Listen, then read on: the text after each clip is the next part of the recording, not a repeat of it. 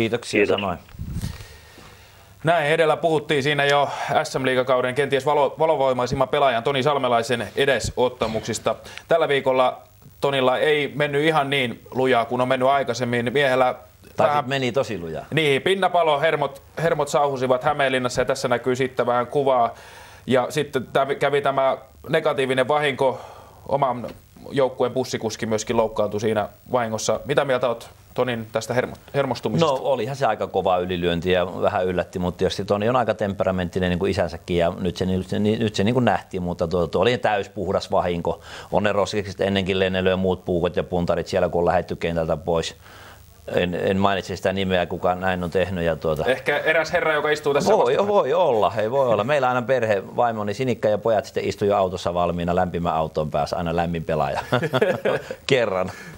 Hyvä. Toivotaan, että jokainen on tästä, ja tästä oppinut omat, omat läksynsä tästä aiheesta, mutta kuunnellaan vielä, miten, miten eh, Toni itse kommentoi tätä, tätä edesottamusta. On, on tuntunut tosi pahalta ja nimenomaan mä oon pahoillaan Karin ja Karin perheen ja sen läheisten puolesta. Et, et, tota, harmittaa tää koko juttu. Et, et se mitä tapahtui, niin sitä ei saa enää, sitä ei saa enää pois, eikä en olisi ikinä halunnut, että mitä tällaista vahinkoa olisi tapahtunut. Toivon, että tota, nuoret ja niin, niin vanhemmatkin tota, oppis, ettei mitään tällaista enää niin tulevaisuudessa koskaan kellekään saatu. Et, ikävä vahinko ja mä oon tota, tosi pahoilla. Mm.